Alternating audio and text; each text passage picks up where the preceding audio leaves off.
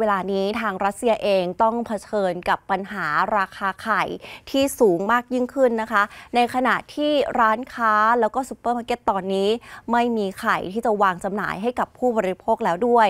ล่าสุดทางการรัสเซียค่ะ พูดถึงแนวทางในการแก้ไขปัญหานี้ บอกว่าประเทศจะนำเข้าไข่กว่า 1,000 ล้านฟอง ในช่วง 6 เดือนแรกของปีหน้าด้วยค่ะ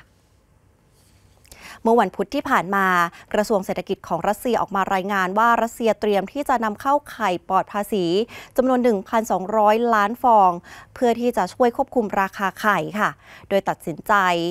การตัดสินใจนี้จะเป็นมาตรการระยะสั้นนะคะ เพื่อที่จะสร้างสมดุลให้กับตลาดไข่ในประเทศ แล้วก็รับประกันถึงการเติบโตของความต้องการไข่ของผู้บริโภคในประเทศด้วยค่ะ ซึ่งมาตรการนี้จะบังคับใช้ตั้งแต่วันที่ 1 มกราคม ไปจนถึงวันที่ 30 มิถุนายนในปีหน้า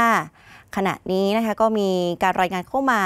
ว่าพบว่าชั้นวางไข่ในซูเปอร์มาร์เก็ตบางแห่งของกรุงมอสโกนั้นว่างเปล่าค่ะ เพราะว่าไม่มีไข่ที่จะขายแล้ว ชาวรัสเซียบางคนก็บอกว่าเคยไปถามบางร้าน แต่ก็ได้รับการตอบตอบกลับมาว่าไม่มีไข่ในสต็อกแล้ว นอกจากนี้แล้วนะคะ ยังพบว่าไข่ไก่มีจำหน่ายบนช่องทางทางด้านออนไลน์ แล้วก็ร้านค้าบางร้าน ยังมีขายอยู่แต่ว่าจำกัดการซื้อ พร้อมกับติดป้ายข้อความเป็นภาษารัสเซีย เพื่อที่จะแจ้งให้ลูกค้าได้ทราบ ว่าตั้งแต่วันที่ 11 ธันวาคมเป็นต้นไป จะมีการจำกัดการซื้อไข่ได้ไม่เกิน 3 กล่องต่อคนต่อวันค่ะ จนถึงณตอนนี้ ราคาไข่ในรัสเซียก็ติดตัวสูงขึ้นอย่างต่อเนื่องนะคะ ในขณะที่ชาวรัสเซียบอกว่า ตัวเธอเองไม่ได้ไปร้านค้ามานานถึง 1 สัปดาห์แล้ว บางคนก็สะท้อนว่า เริ่มที่จะเห็นราคาไข่เพิ่มขึ้น 30 รูเบิลหรือว่าเกือบ 12 บาท และไข่บางประเภทก็มีราคาเพิ่มขึ้นประมาณ 13 บาทด้วยกันค่ะ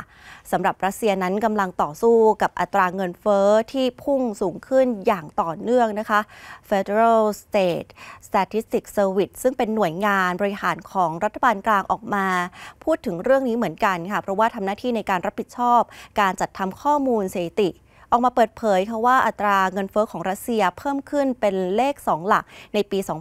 2022 ผลกระทบจากเงินเฟอ้อก็ทำให้ตั้งแต่ต้นปีที่ผ่านมาราคาไข่นั้นดิดตัวเพิ่มขึ้น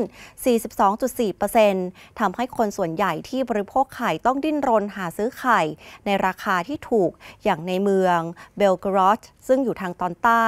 มีผู้คนที่มาเข้าคิว ต่อแถวกันยาวค่ะ เพื่อที่จะซื้อไข่ในตลาดที่มีราคาถูก ไข่ 10 ฟององขายในราคา 65 รูเบิลหรือว่ากว่ากว่า 25 บาท เมื่อเทียบกับราคาในซูเปอร์มาร์เก็ตกับจำนวนไข่ที่เท่ากัน แต่ว่ามีราคาสูงกว่า 150 รูเบิลหรือว่าเกือบ 60 บาทเลยค่ะ